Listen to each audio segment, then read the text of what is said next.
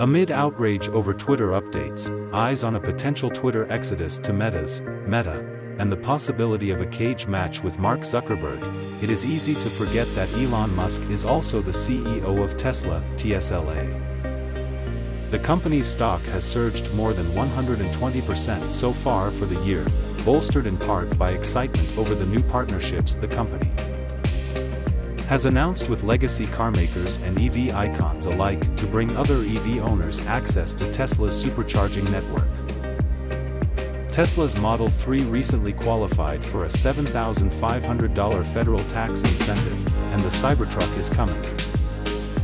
And surrounding all these announcements is continuing excitement over the company's full self-driving software and anticipation for the arrival of a truly self-driving car.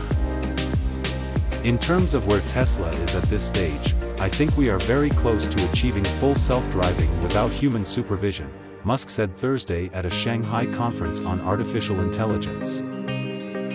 This is only speculation, but I think we'll achieve full self-driving, maybe what you would call 4 or 5, I think later this year. I feel like we're closer to it than we ever have been.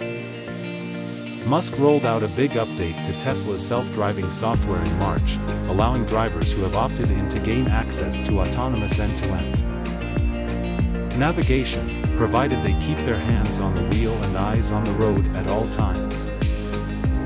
In the midst of continued FSD excitement and Musk's own shaky prediction on the arrival of a truly self-driving car one where the driver doesn't have to pay attention to the road at all, the National Highway Traffic Safety Administration, NHTSA, is seeking updated answers and data in its ongoing probe into Tesla's autopilot system.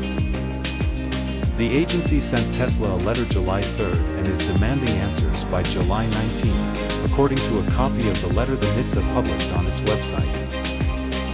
If Tesla fails to comply by the deadline, the company faces civil penalties of up to $26,315 per violation per day, with a maximum of $131,564,183 for a related series of daily violations, according to the letter.